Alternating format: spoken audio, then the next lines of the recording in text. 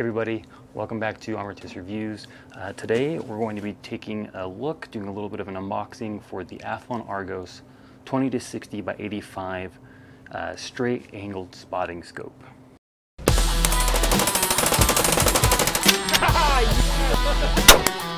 Today I'm going to be reviewing the core essentials tactical gun. This has an adjustable seat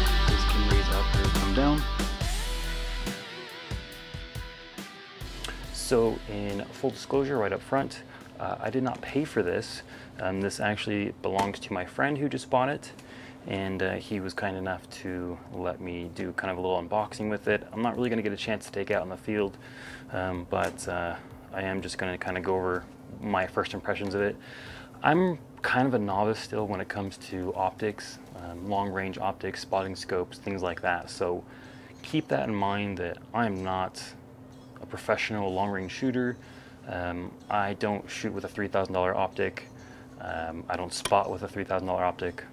I'm kind of a budget baller, as they say. Um, so anyway, this is a pretty good, um, pretty pretty reasonably priced optic um, from the feature set, from what I understand. Um, I'll put the MSRP in the in the video kind of down below because I don't quite remember what it's at, what the MSRP is on it. but anyway, let's uh, let's take it out. It comes in a pretty good sized box. has all the specs right there. Can't tell if that's focusing or not. Hopefully it does. Um, and if it's not, you can see it on the website. So it comes in a pretty big box. Um, let's go ahead, just kind of pull this out and over.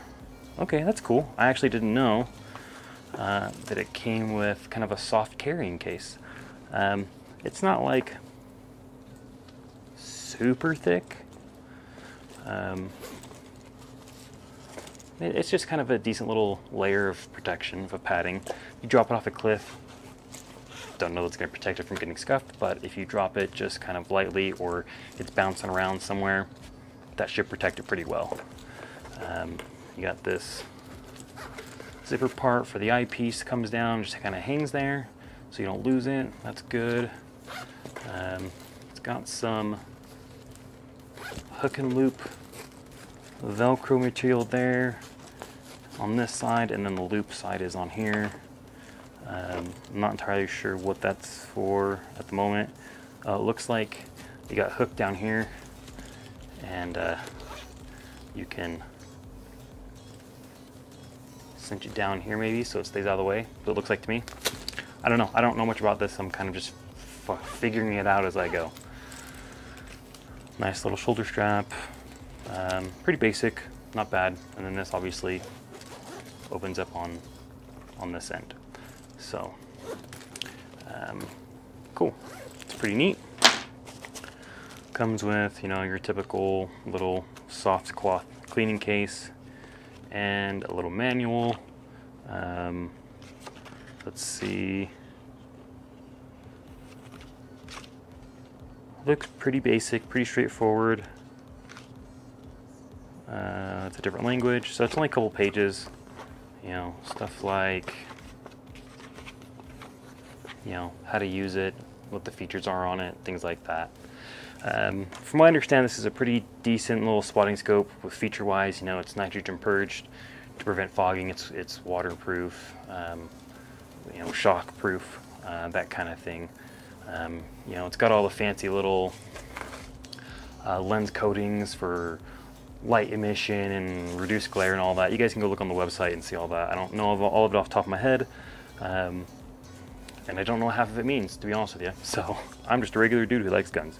Um, comes with a little foam padding on the top, and then this is how it looks in the box. So nice big foam padding all around to protect it, which is good because right here there's a pretty decent little indent on the, on the corner. I was kind of worried, but it's so well protected. Um, and then it comes in a plastic bag. Um,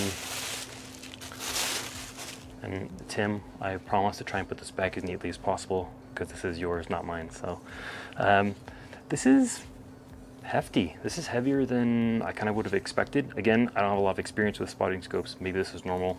I don't know. I'll see if I can weigh it. Um, or actually, the website will tell us. I'll put up from the website, but um, it's hefty. It's, it's heavier than I was thinking. Hopefully that means it's built quality. Um, it does come with a little uh, nice thick rubber lens that goes on the front with a little uh, eyelet right there so you don't lose it. And then nice little piece right there that does not have an eyelet, so that will get lost if you don't have it attached. Um, the the coating on the outside, like it, it, has like a like a rubber coating, I believe. Feels good. Um, it's not really squishy rubber. It's kind of a hard rubber.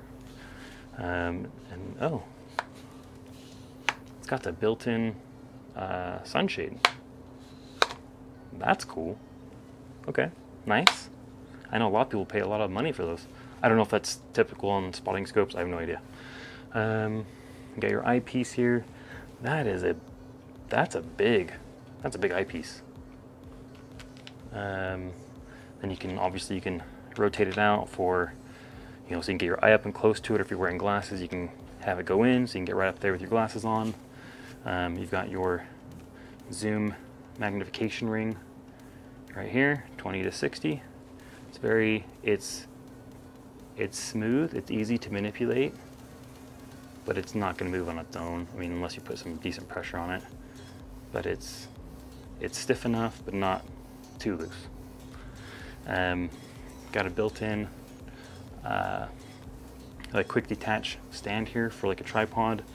Um, I don't, to be honest with you, I'm not sure what kind of attachment this fits. Um, I did try it on some of my tripods and they didn't they didn't fit. They have like like, like a quick detach plate, so maybe it's not meant to be doing that. Um, it does have the I think uh, quarter inch um, threading on the inside, so you can thread it onto like a camera mount. So that's probably more what it's intended for. Um, but I would imagine there's a, a quick detach for this somewhere. And then there's a knob right here that you can loosen and then you can rotate this. So I guess if you wanted to, you know, have it on your stand and have it like this, look through it that way rather than having it be up and looking through it or whatever, you can, if you're kind of at a weird angle, you can adjust it. So that's pretty cool. Um, go ahead and tighten that back down. And, uh, oh, and then you have your focus knob, uh, your focus ring right here. Um, again, it's kind of just like this, this uh, zoom ring. It's stiff. It's not going to move with a little brush of a touch, but uh, it's, it's, it's easy to manipulate. So that's really nice. I have, I did actually take this out already and uh, I will put some b-roll of video and pictures I took through it and kind of the distances I was looking at. Um, keep in mind I just did it in my backyard so kind of looked like a creeper but I really wasn't creeping I promise. Um, so uh, yeah I'll put some pictures and video on there but overall um, this is pretty nice. Um, like I said, I did look through the, the scope already, um, and it was very clear. Like I was impressed. Again, I'm not the type of person who has a three thousand dollars spotting scope. I, I don't I don't know how to compare it to a more expensive spotting scope, but it was very clear, and it was very nice. I was very impressed with this spotting scope. Um, so obviously, time will tell how it holds up um, how customer service is, if it's ever needed, that kind of thing. But overall, I'm pretty impressed with this. So um, we'll see how Tim likes it when he gets it and uh, go from there. But anyway, that's it, guys. That's kind of the unboxing. Again, comes with the scope, really big box with padding, the cleaning rag, the uh, little booklet, the manual, and a decent, not probably the best, but a decent included little case that goes around it. So uh, that's it. Hope that was helpful, guys. Um, let me know if you have any questions, and I'll do what I can to answer those for you. Um, be sure to hit subscribe if you felt this was helpful. Um, I'm going to try and do more content as, as much as I can. And uh, check all the links down below for this, to see, to see this, to buy it, um, to see the specs, and then check out my social media pages. I'm trying to do some giveaways here soon. I've been talking about doing that for a little while. and I have kind of a box put together with a whole bunch of stuff that I want to do a giveaway with. It's not garbage stuff, but is it a gun? Is it is it this? No, but it's some cool stuff. It's free. Stop complaining. Uh, anyway, uh, thanks guys. Have a good day.